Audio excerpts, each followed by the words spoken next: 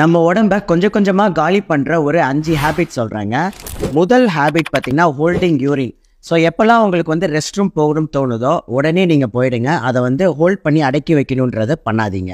இரண்டாவது ஹேபிட் பார்த்தீங்கன்னா பெட்ரூம் பக்கத்திலே வந்து ஃபோனை வைக்கிறது. நிறைய பேருக்கு வந்து தலகாணி பக்கத்துலேயே ஃபோனை வச்சு தூங்குற பழக்கம் இருக்கும்.